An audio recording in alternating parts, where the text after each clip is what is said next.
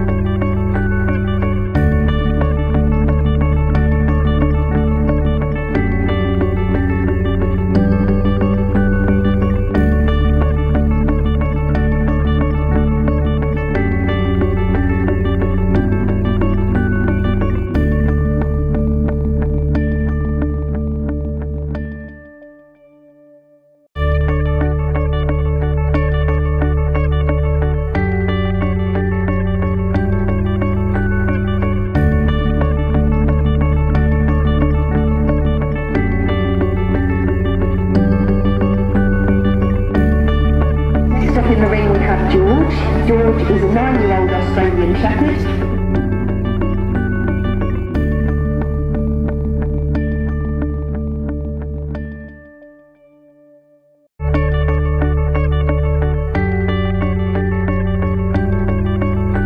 Shepherd, the and he lives with a menagerie of seven rescue animals, the eldest being a 21-year-old cat.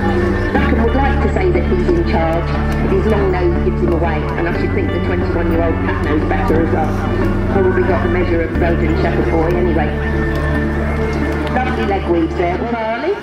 Charlie the Black Poodle was previously living in a shed in a puppy farm. He had to fight other dogs for food and a clean space to sit. Thankfully the puppy farm was discovered by the RSPCA and when he was a year old, having spent a year in the dark shed, away from the school environment and rescued by Dana. Charlie, I remember meeting